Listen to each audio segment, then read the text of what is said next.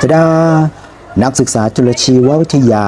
คณะวิทยาศาสตร์ มหาวิทยาลัยอุบลราชธานี พร้อมแล้วกับการเดินทางไปศึกษาดูงานที่ต่างจังหวัดไม่ไกลเลยฮัลโหลสวัสดีสาวโซเชียลแคมสวัสดี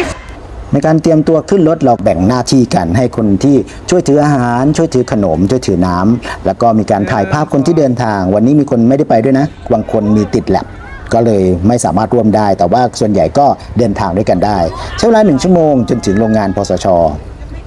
ในการเดินทางก็จะมีพ่อค้าแม่ค้าขึ้นมาขายของบนรถก็จะมีขายข้าว ขายข้าวเหนียวไก่ย่าง เป็นบรรยากาศที่นักศึกษาช่วยเหลือกันเองนะครับมีการแบ่งหน้าที่กันว่าคนนี้เป็นคนแจกอาหารนะครับแล้วก็มีการเก็บขยะด้วย ในการเดินทางนะครับก็จะมีบรรยากาศ music ขับกล่อม ซึ่งจะเป็นสไตล์ Doctor Dance เปิดเพลงแบบนี้ไปตลอดเส้นทางการเดินทาง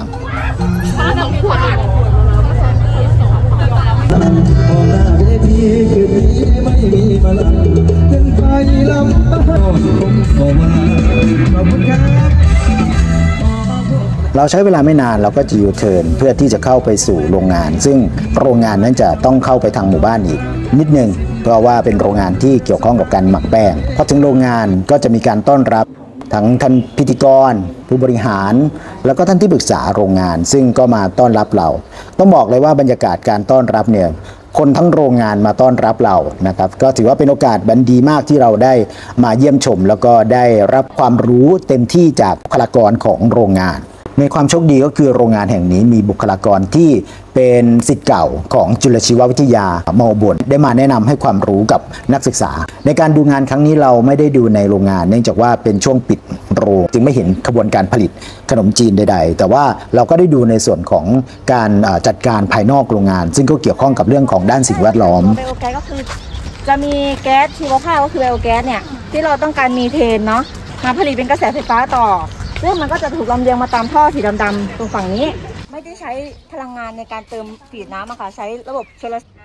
เครื่องหนึ่งเครื่องสองส่วนอันนี้จะเป็นเครื่องฉุกเฉินเป็นเครื่องดีเซลนะคะเอาไว้ปั่นไฟใช้ในภายในโรงงานของเราใช่แต่ถ้าปั่นขายจะเป็นสองตัวนี้นะคะอันนี้จะปั่นใช้ระบบเรามาไฮไลท์ของเราเลยนะครับ การเดินทางครั้งนี้นอกจากได้ความรู้แล้ว เรายังได้ชิมแล้วก็ได้กินให้อิ่มหนำสำราญก่อนที่จะเดินทางกลับด้วย ด้วยความที่โรงงานแห่งนี้ทำแป้งขนมจีน แล้วก็มีการผลิตโปรดักที่เป็นแป้งพร้อมที่จะทำขนมจีน ไว้สำหรับจัดจำหน่ายเพราะฉะนั้นก็มีการจัดแสดงนะครับในส่วนของการ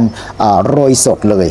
ทำขนมจีนโรยสด แล้วก็มีการยำขนมจีน นอกจากลองกินยังสามารถลองยำได้เองด้วย เนื่องจากว่ามีอุปกรณ์ครบถ้วนไม่ว่าจะเป็นตัวน้ำยำเองเขาก็ทำแบบสำเร็จออกมาแล้ว อันนี้จะเป็นลักษณะของบูธสำเร็จ ที่โรงงานได้ตั้งใจที่จะทำเป็นผลิตออกมาเป็นชุดสำเร็จสำหรับการค้าสำหรับคนที่สนใจในการทำธุรกิจเรื่องของการทำขนมจีน ไม่ว่าจะเป็นเรื่องของการออกไปจำหน่ายตามบูธต่างๆ หรือให้ความรู้ก็ตาม ทางโรงงานก็ได้เตรียมอุปกรณ์เหล่านี้ไว้แล้ว นักศึกษาทุกคนก็ได้ลองชิม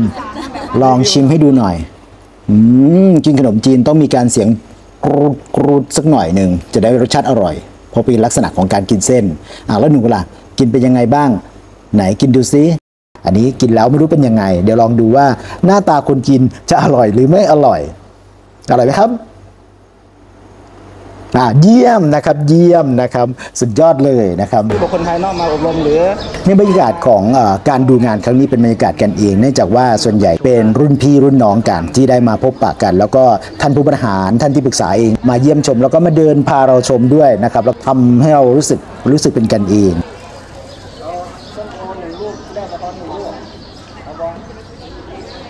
ในการกินครั้งนี้อิ่มหนำสำราญมากแล้วบอกเลยว่าของเหลือ เพราะว่าบอกว่าเราจะไปหลายคนแต่เพลินว่าในการเดินทางครั้งนี้เราไปได้ไม่ครบทุกคน เพราะฉะนั้นขนมจีนก็จะเหลือเยอะน้ำยาก็จะเหลือเยอะเอาส้มโอมากินก่อนส้มโอมันสุญญากาศไหมครับเออกันส้มโอมาก่อนสองลูกเดี๋ยวกระท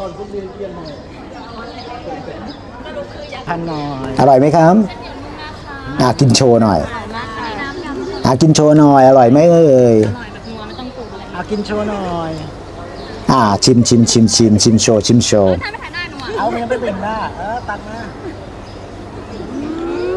อื้อหืออร่อยมากนะครับอร่อยมากเลย อ่าได้เวลากลับแล้ว วันนี้ก็ต้องขอขอบพระคุณทางโรงงานพสช ที่ได้ให้ความกรุณากับนักศึกษาจุลชีววิทยามอบนในการศึกษาดูงานในครั้งนี้ Come on.